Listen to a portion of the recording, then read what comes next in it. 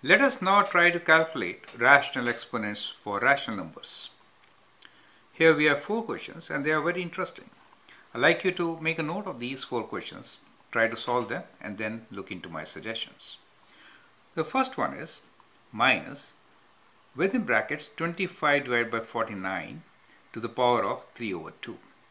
Then we have minus 1 divided by 125 whole to the power of 2 over 3. Part C is minus 8 to the power of minus 2 over 3 and D is minus of 16 divided by 81 to the exponent of 3 over 4. So let's do the first one. Part A.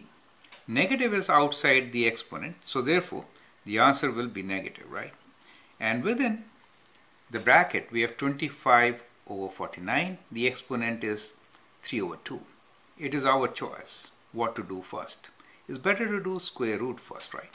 So we'll do square root of these numbers. That is to say, we should look at them like this. We are trying to do square root first. So it is like square root of 25 divided by square root of 49 and everything cubed.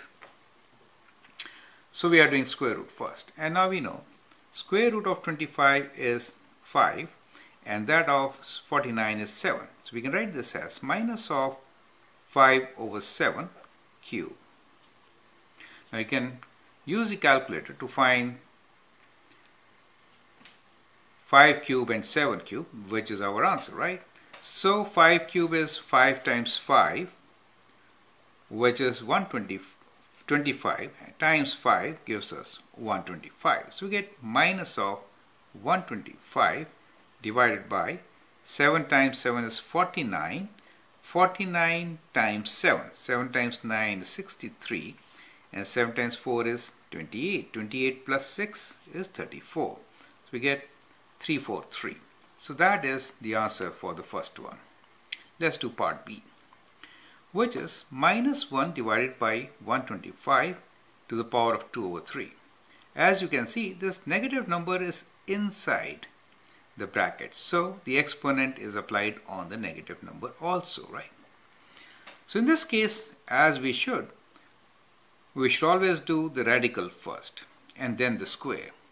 In that case, we'll end up with smaller numbers to work with. So what we have here is cube root of minus 1 divided by cube root of 125 and then square of the rational number. So what do we get? Cube root of negative 1 is negative 1. Cube root, this cube root, cube root of 125 is 5. And square is the answer, right? That is 1 over 25. So it will make the number positive, right? So you'll get a positive result, 1 over 25. Now let's look into C. Minus 8 to the power of minus 2 over 3. Now what is the effect of minus here? It makes the number reciprocal, right? So let us rewrite this number. So we can write this number as 1 over. So there's a negative sign. You can keep negative up also, right? With the numerator or with the denominator. It doesn't really matter. But there has to be just one negative sign. So that is the effect of minus here. So we get 2 over 3, right? So 1 over 8 to the power of 2 over 3 is what we get taking care of negative 1 exponent. Now let's do cube root of 8. So if you do cube root of 8 you get 2 right?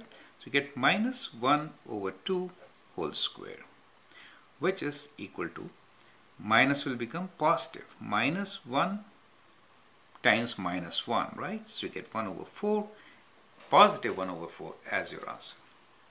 Correct? I hope you appreciate it. So whenever you square it, you'll get a positive result. Now here, part D is 16 over 81 with negative outside. So we'll always get a negative result. This exponent is not for this number. Now let's do the fourth root and then the cube root.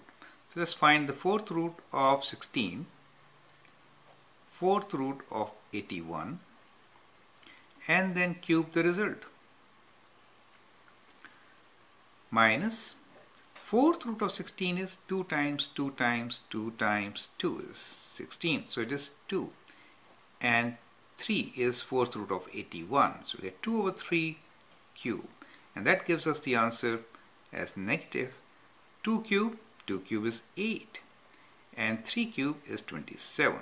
So minus 8 over 27 is the answer. So that is how you can find rational exponents of fractions or rational numbers. Thank you.